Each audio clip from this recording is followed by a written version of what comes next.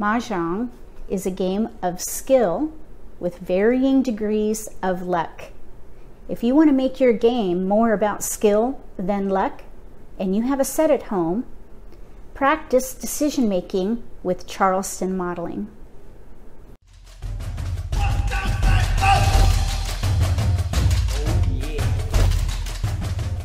If you're new to Mahjong, or if you already know how to play and just want to build your skills, consider subscribing to my channel and click the bell when you do so you get notification for when I post new videos. Let's do some Charleston modeling. I have all my tiles out. They've been mixed. For these exercises, we're going to say we're the dealer. So I'm going to get 14 random tiles. I'm going to make a mock Charleston. I call it a mock Charleston because it's just to simulate your incoming passes during the Charleston. It is not exactly like what you would experience in a game, but it's great practice. Okay, let's see what we can do with this random pull.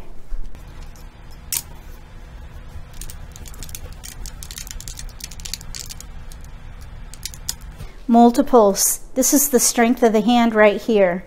Anytime you have multiples, build around them we could do something consecutive or we might be able to do something with lucky 13 if we get a one crack or a three crack and some flowers of course.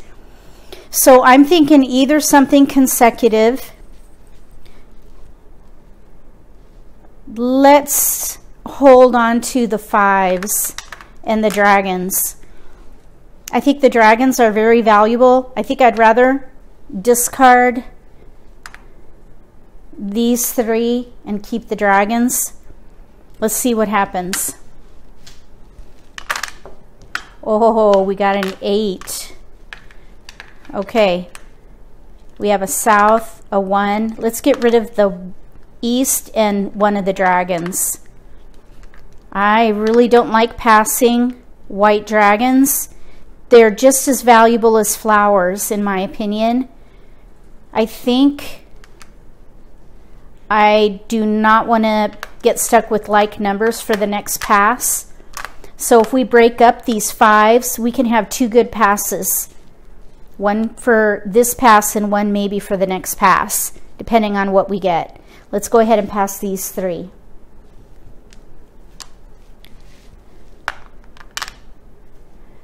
So we have a three. If we're going to play Lucky 13, we really need we needed that five dot that I passed. I should have gave up the five bam instead of the five dot. I still would like to leverage these fives though. Let's go ahead and pass these three right here. There's five. We need a one and a three and flowers, of course. Okay, so let's go ahead and pass these three.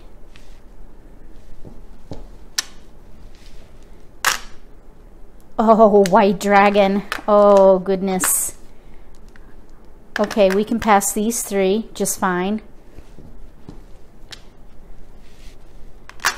Oh, gosh, I saw that crack and I was hoping it was a three crack. Okay, let's pass these three, even, odd. Either one of these are going to be risky, whether we do consecutive or six, three, six. Let's just go ahead and pass these three. No, three, crack, or one crack. Oh, bummer. Okay, let's do an optional cross and pass these three.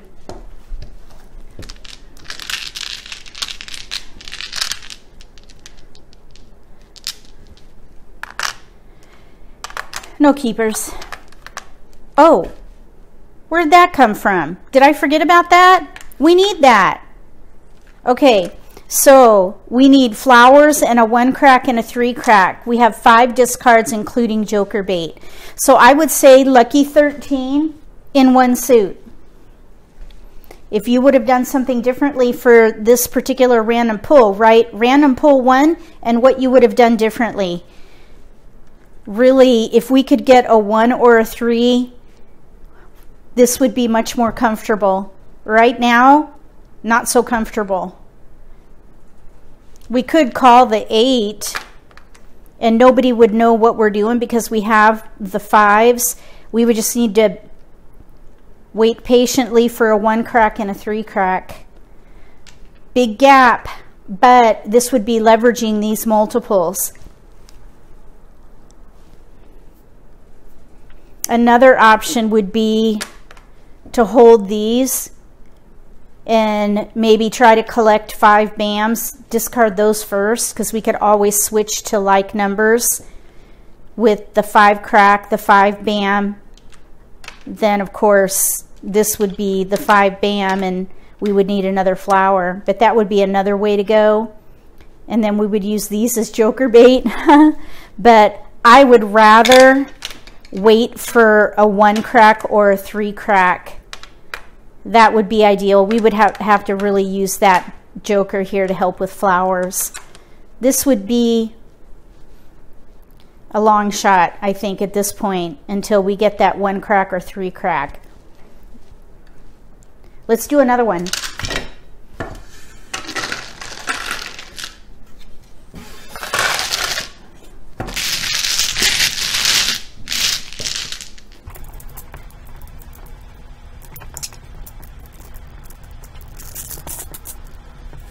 Okay, here we go.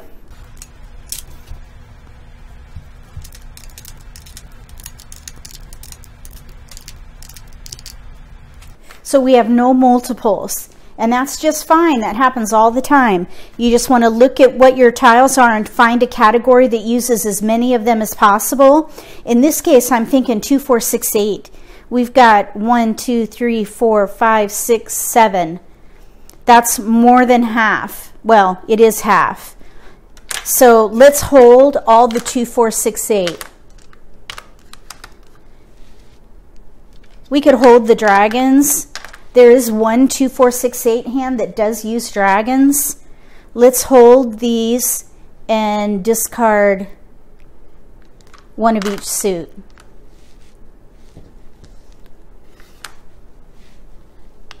There's a multiple, the two. So this will be the strength of the hand for now. Now here we have sevens. I'm wondering if we should maybe, let's see, two, four, four, six, eight, two. We do have all the twos and we do have dragons. We could maybe even play, maybe we should switch to the big year hand. Look at this. Seven. Let's just force it. Why not? Let's have some fun. Let's switch to the big year hand, the last one under singles and pairs, and throw these. Nope, no keepers. Let's discard these three. Seven dot, that's not helpful. Let's discard these three. There's a red dragon. And we have tiles we could pass. Seven, nine. We could maybe even play something consecutive with the eight. Let's throw these three. One and seven. Here's a 278. Let's throw those.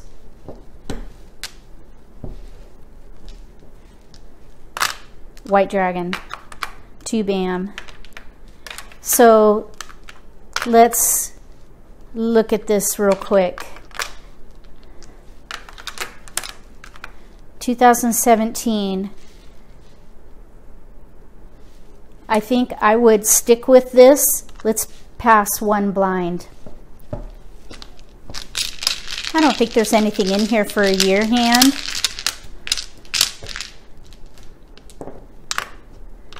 So we have two discards for the year hand. if we were to play the big year hand, we would have one, two, three, four, five, six, seven, eight, nine. If we played maybe the concealed year hand, the last one under 2017, we would have eight. So I think what I would do here, I would hold all of these, hold these, discard these, and then see if this hand comes in. Hold dragons, try to get some flowers. We have five discards to play the biggest hand. Even if you start out with just a few tiles, it's amazing what you can gather during the Charleston. If you would have stuck with 2468, let me know. Did I make you cringe when I switched to that year category? Sometimes if it just feels right, you never know, it might work out. Let's do one more.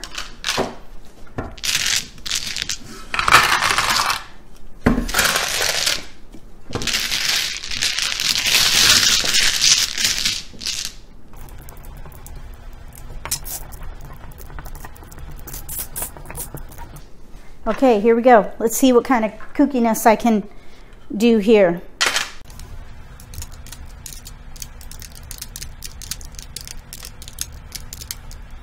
No multiples. North-south dragons. Five, six, seven, nine. There's a little bit of a consecutive opportunity here. I think I would hold five, six, seven, eight, or six, seven, eight, nine. Let's hold all those and give up a south right here. I think we're going to get uh, some multiples eventually, maybe.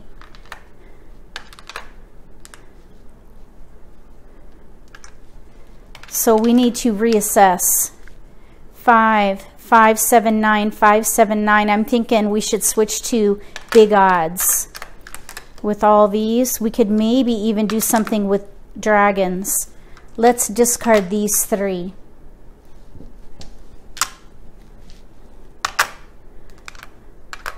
I hope nobody would ever pass a pair. So we got a three. Let's go ahead and pass these three. Flower. That's nice. Maybe we can use it. We don't have to pick a hand. We're just gathering five, seven, nine odds. We could probably get rid of this. Let's go ahead and pass these three. Exchange the joker. Okay, we've got tiles we can pass. Still don't have to pick a hand. Anytime you have discards, you don't have to pick a hand. Joker, discard. Okay, we got a one. So we have all odds. Now we have two tiles. This is when we have to pick a hand. Or decide on either 135 or 579. I think we should go with 579, big odds because of this pair. We could maybe play the 135 at the very bottom, the concealed one, where we need a three dot and pungs on the end.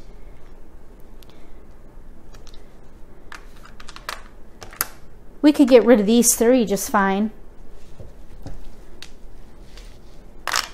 Oh my goodness, look at that. Okay.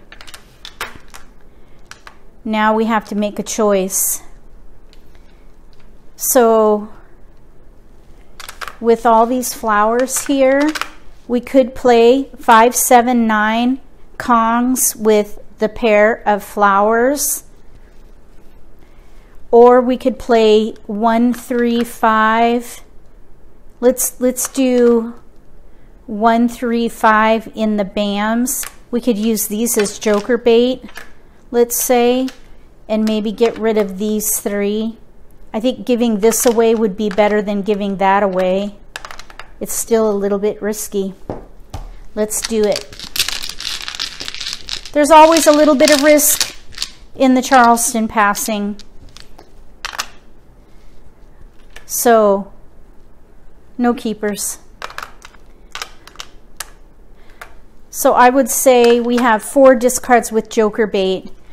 And I would, if I had to pick a hand, I would play the concealed hand. One, three, five, five, seven, nine, two suits with the single three and the single seven.